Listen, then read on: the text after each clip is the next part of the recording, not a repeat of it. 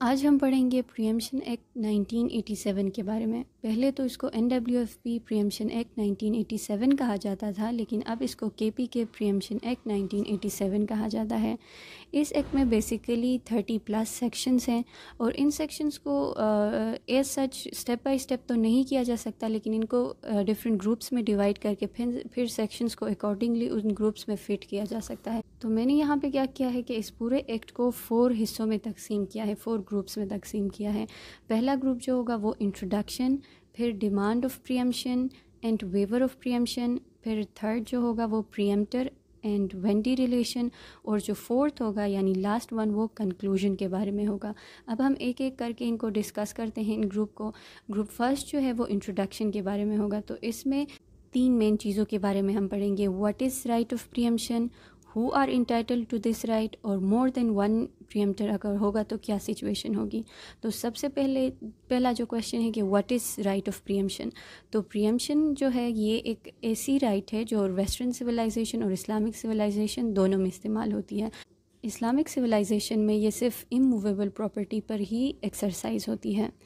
अब जब हम इस्लामिक पर्सपेक्टिव से अगर शुफा जिसको कहते हैं प्रियमशन एक्ट को अगर डिस्कस करेंगे तो ये इमूवेबल प्रॉपर्टी पे एक्सरसाइज हो सकती है और सिर्फ़ सेल के जब सेल हो जाती है तब ये एक्सरसाइज हो सकती है।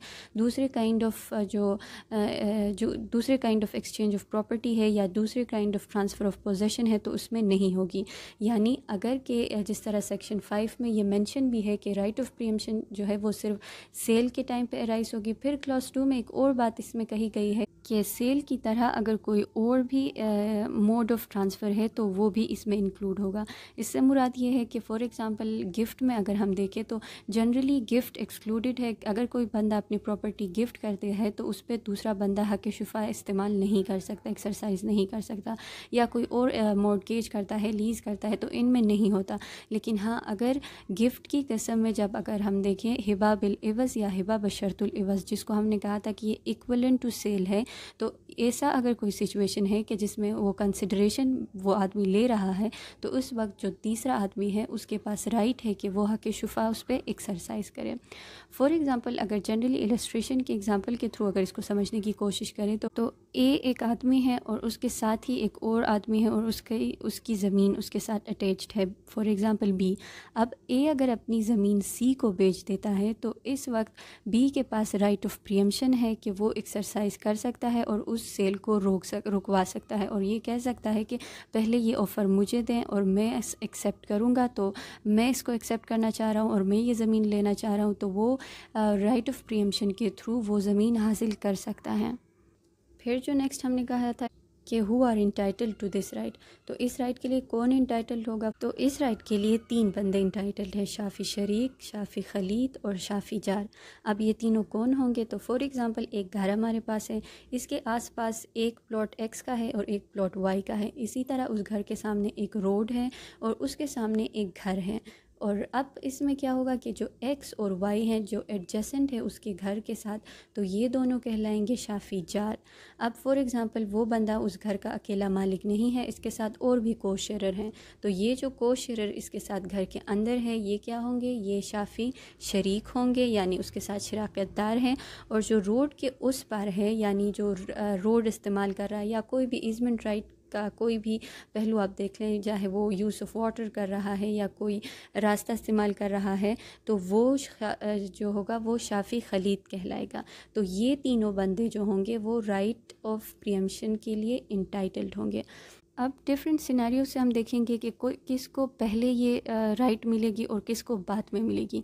तो अगर सेक्शन इस सेक्शन को ही अगर हम देखें कि शाफ़ी खलीद है, शाफ़ी जार भी है एक घर के साथ और शाफ़ी शरीक भी है तो सबसे पहला हक जो है का वो ज़ाहरी बात है शाफ़ी शरीक का होगा, जो को शरर है उसका राइट अराइज होगा।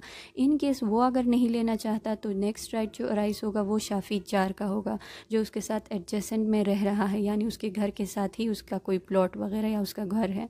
और जो तीसरी ना, अगर फॉर एग्ज़ाम्पल इनकेस शाफ़ी जार भी नहीं लेना चाह रहा तो फिर थर्ड ये सिचुएशन जाएगी शाफ़ी खलीद के पास और वो फिर ये राइट एक्सरसाइज करेगा।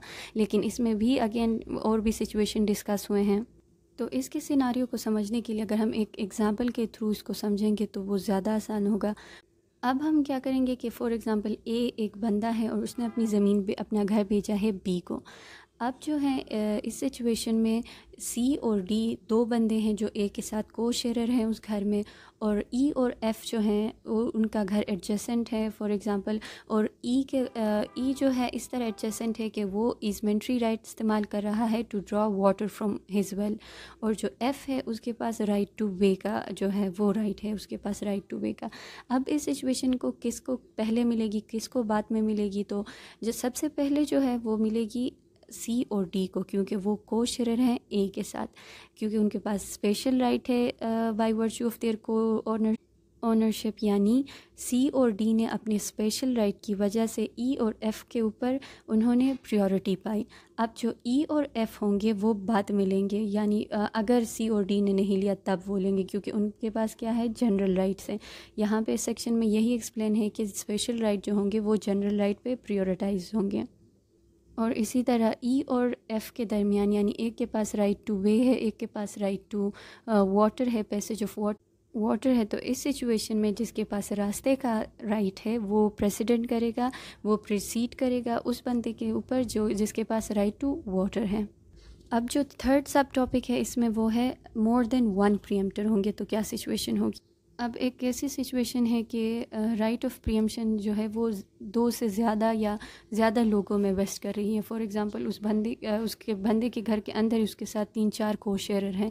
तो अब वो चार जो को हैं वो इकट्ठा भी राइट ऑफ़ प्रियमशन एक्सरसाइज कर सकते हैं और वो अलहदा अलहदा इंडिविजुअल तौर पर भी राइट ऑफ़ प्रियमशन उसके ऊपर एक्सरसाइज करते हैं। अगर वो बंदा अपना घर, अपना हिस्सा या अपना घर बेचना चाह रहा है, तब। और फिर एक अगर ऐसी सिचुएशन अराइज हो गई कि दो बंदे हैं, दो प्रियमटर हैं जिनका बिल्कुल इक्वल ही राइट बनता है प्रियमशन का तो इस सिचुएशन में क्या होगा? तो इस सिचुएशन में ये होगा कि इक्वली दोनों के दरमियान उस प्रॉपर्टी को डिस्ट्रीब्यूट किया जाएगा। फॉर एग्ज़ाम्पल वही एग्ज़ाम्पल अगर ले लें कि ए अपना घर बेचना चाह रहा है और उसके साथ को शेयर हैं बी और सी और वो बिल्कुल इक्वली इंटाइटल्ड है प्रियमशन के लिए तो इस नतीजे में अगर ए अपना घर बेचना चाहेगा तो वो डिस्ट्रीब्यूट करेगा दोनों के दरमियान इक्वली लेकिन अगर उनका हिस्सा इक्वल नहीं है उस प्रॉपर्टी के शेयर में, उसके साथ जो को शेयर है, उनके साथ तो उसको उनके प्रोपोर्शन के हिसाब से प्रीवियस शेयर के हिसाब से ही उनको वो जो प्रियमशन का राइट है, वो भी उसी तरीके से एक्सरसाइज करना होगा। फॉर एग्ज़ाम्पल पहले अगर भाई एक बंदा है, उसके पास sixty percent of the share है और दूसरे के पास forty percent of the share है तो बाद में भी प्रियमशन का राइट इसी तरीके से इस्तेमाल होगा सिक्सटी और फोर्टी के हिसाब से। लेकिन अगर वो बिल्कुल ही इक्वल है तो प्रॉपर्टी भी इक्वली डिस्ट्रीब्यूट होगी उनके दरमियान। और फिर एक ऐसी सिचुएशन की बात की गई है कि तीन से या चार बंदे हैं, उन्होंने राइट ऑफ़ प्रियमशन एक्सरसाइज की है, वो कोर्ट में गए हैं। अब उन्होंने एक ने अपनी जो है, वो केस विड्रॉ कर ली है। तो इससे जो तीन बंदे हैं, उनके केस पे कोई फ़र्क नहीं पड़ेगा। अब जो प्रियमशन का राइट है, वो तीनों एक्सरसाइज करेंगे। लेकिन इसके लिए इस बात को ज़रूर याद रखें कि ये जो प्रॉपर्टी जो क्लेम वो एक्सरसाइज कर रहे थे, पहले वो पूरी प्रॉपर्टी के ऊपर वो प्रियमशन का राइट एक्सरसाइज कर रहे थे, ना कि एक बंदा सिर्फ़ अपनी ही प्रॉपर्टी पे कर रहा था और उसने सिर्फ़ अपनी ही प्रॉपर्टी से अभी वो विड्रॉ कर रहा है अपना क्लेम इसके लिए ज़रूरी है कि वो सारे बंदों ने होल ऑफ़ द प्रॉपर्टी पे ये क्लेम एक्सरसाइज किया हो, एक सूट फ़ाइल किया हो प्रियमशन का और अब उनमें से एक बंदा हट रहा है तो इससे वो दूसरा बंदा इफ़ेक्ट नहीं होगा। अब हम जाएँगे थर्ड ग्रुप की तरफ़ जिसमें हम प्रियमशन डिमांड ऑफ़ प्रियमशन और वेवर की बातें करेंगे तो डिमांड ऑफ़ प्रियमशन कैसे की जाएगी? इससे पहले हम नोटिस के बारे में पढ़ते हैं कि जो बंदा अपना घर बेच रहा है, उसके लिए ये बहुत ज़रूरी है कि वो नोटिस दे दे उन सारे बंदों को जिनके पास प्रियमशन का राइट है।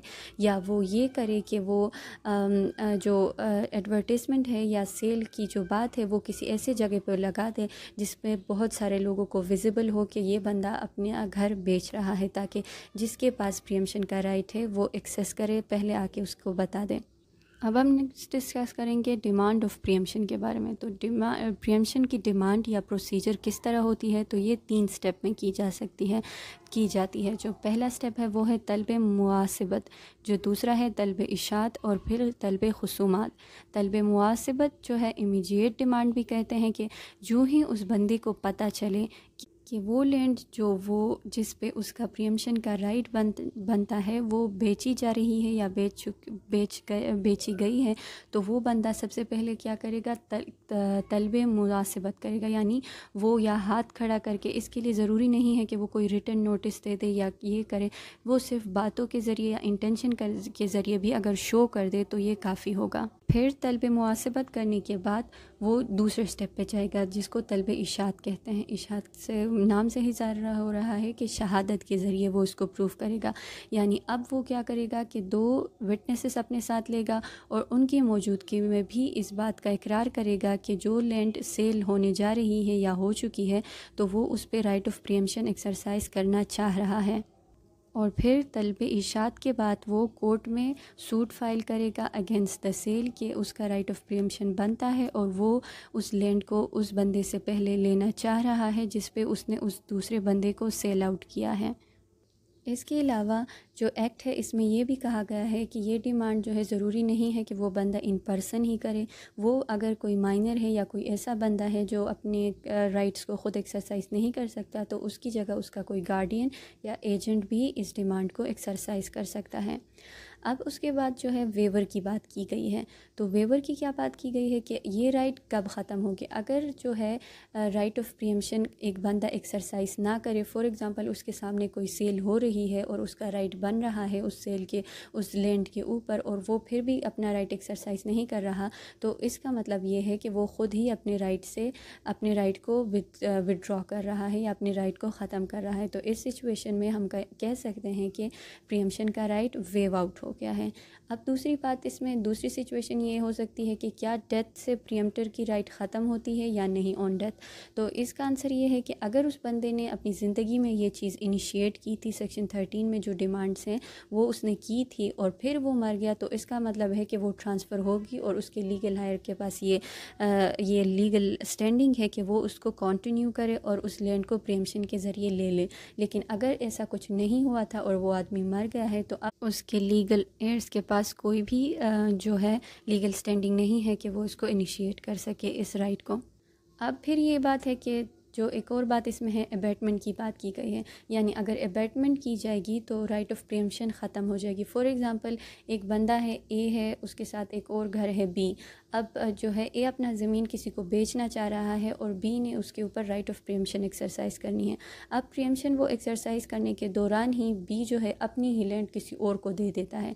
तो इस सिचुएशन में उसने ख़ुद को अपनी प्रॉपर्टी से ही एलिनेट कर दिया। अब उसका ऑनर कोई और है।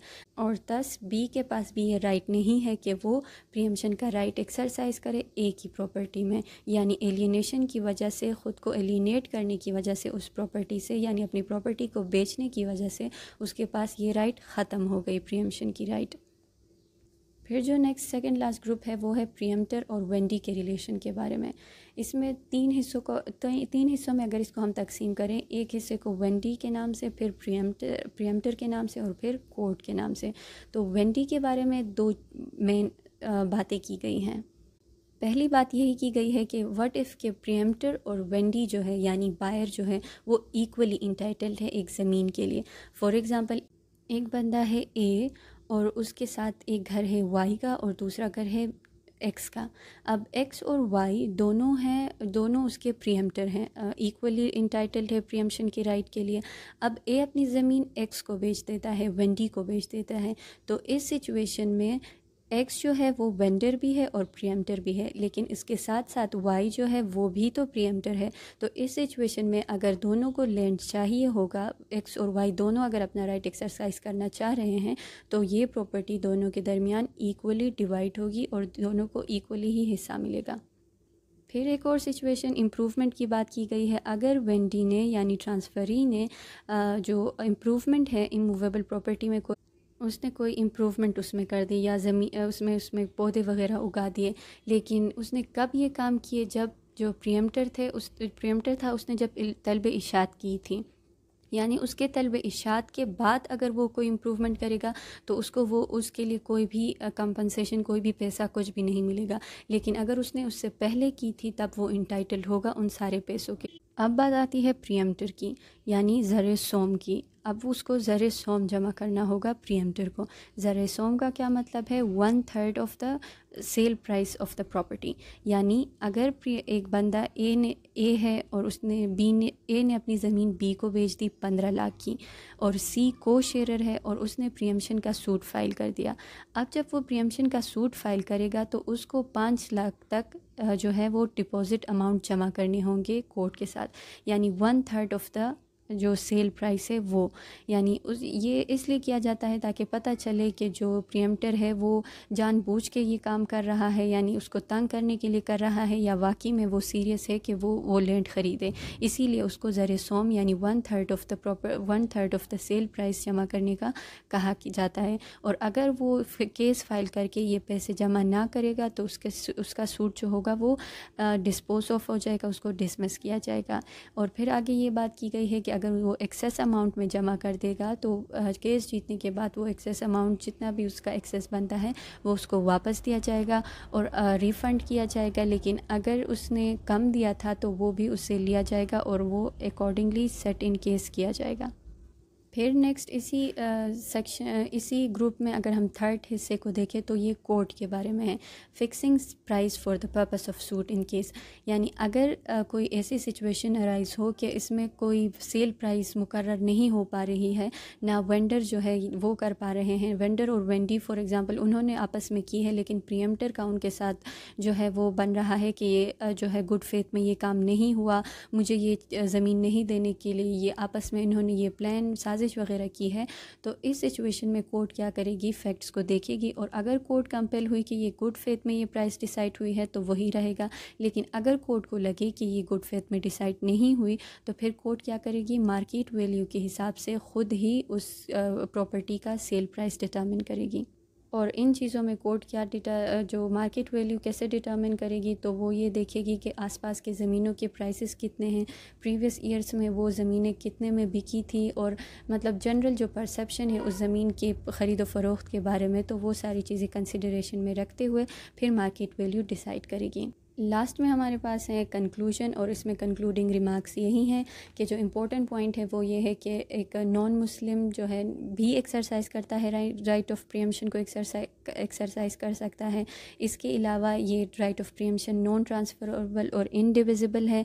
इसके अलावा इसके अलावा इसके जो, इसने जो पैसे जमा किए हैं, डिपॉज़िट किए हैं कोर्ट में, इसको किसी अटैचमेंट के तौर पर किसी और सिविल सूट में इस्तेमाल नहीं किया जा सकता। और अगर उलमा की हेल्प चाहिए होगी तो वो भी इस प्रियमशन के एक्ट में हम ले सकते हैं। यानी हेल्प का मतलब ये है कि वो उसको भी, वो भी इंस्टेड ऑफ़ एडवोकेट केस लड़ सकता है।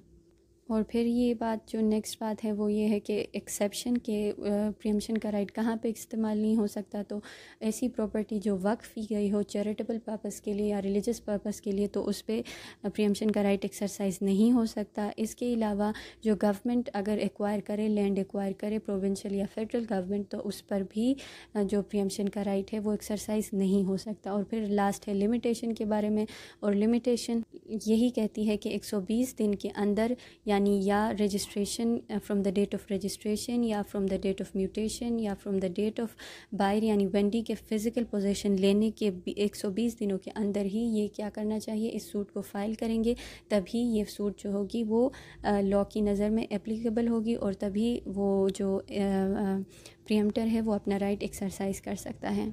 तो ये थी आज के लिए हमारे पास प्रियमशन एक्ट 1987 के बारे में।